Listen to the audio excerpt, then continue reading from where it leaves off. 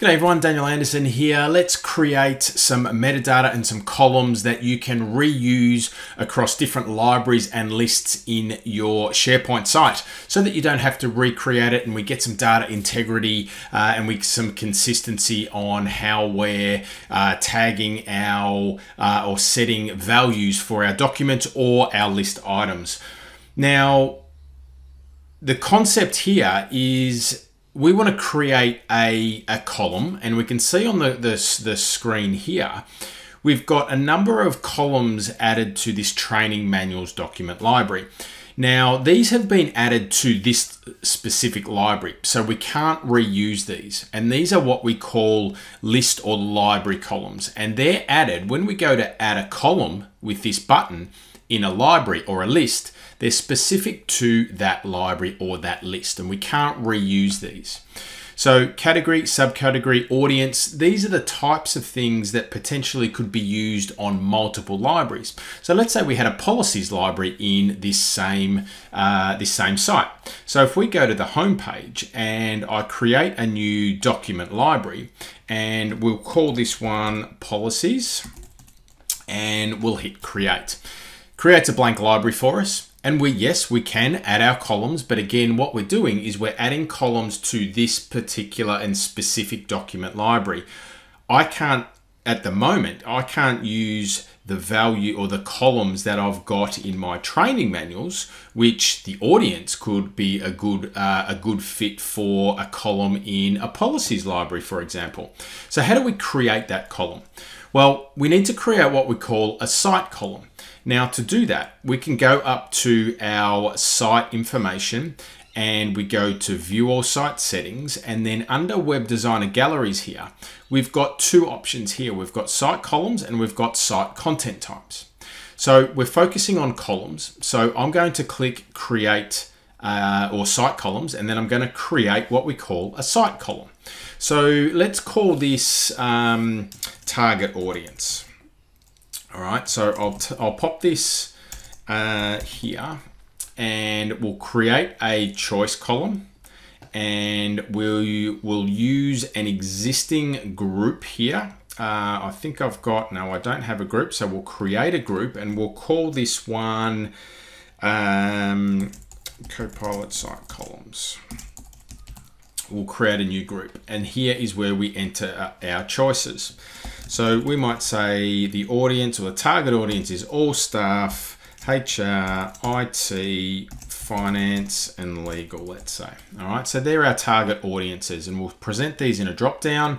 We can set a default value if, if, you, if we want, but I'm going to blank this out and we'll click OK. All right, so now what we've done is we, have created what we call a site column. Now this site column, as the name implies, is reusable across our site. So we can add this column now to any library or any list, but just within this particular site. So if I now go to uh, our homepage and we will go to policies, and what we can now do is rather than adding a column here, so you can see that we've got the ability still to add our columns, but remembering this is our list, our library columns, and you can see, see all uh, column types, and we can create our list column, but we don't want to do that. We want to add that column that we just created. So if I go to library settings, more library settings, and then in our columns here, you can see that we can add from existing site columns. So when I click that, I can select my Copilot site columns uh, group and I will click add and I will click OK. So now we've got that target audience column added to our policies library and we can see that we've got that option there. So if I then now go and grab a document and bring that across, we have the ability to set a target audience. So I'll drag and drop a, a document over that's been uploaded. I'll pop into grid view and we can see we've got our choices, okay? And we've got HR. We'll exit our grid view and we're good to go.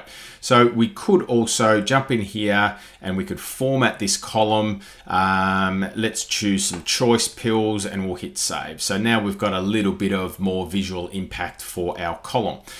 Now, we could do that now to any library. All right, so let's say we go products and I can do exactly the same thing. So I can go to library settings, more library settings, add from existing site columns, and I can go to Copilot site columns, target audience, click OK, and I've got that exact same column now in our products library. And I'll go to edit in grid view, I'll go target audience, and you can see I've got all of the same values that I've got in my policies library, for example.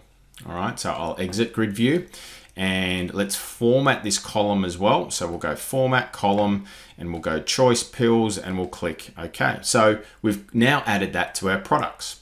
Now, what if we wanted to add some values, all right, to the, this choice list? So what I can do now is go back to all site settings. I can go back to my site columns now and if I look for Copilot site columns, there's my target audience site column. I can jump into here and uh, let's just expand this a little bit so that we can see the full list. Here, we could then um, say add another target audience. We'll hit OK. We'll click OK. And now what's going to happen is if I'm in policies and I go edit in grid view and I'll jump in here, you can see that I've got that new value that's automatically been made available to me. And then if I go back into products, you can see that if I go edit in grid view, we'll be able to see that I've got that new value that I've added in that site column choice option list. All right. So that's how we would go about creating a column or a, a metadata column uh, that is reusable in your particular site collection, not just on a list or library in your site. And it just makes things repetitive, reusable, consistent with the values. And then, then we can use that across different lists, different libraries in that site. So I hope that brings you some value. Thanks for watching, and I'll see you in the next episode.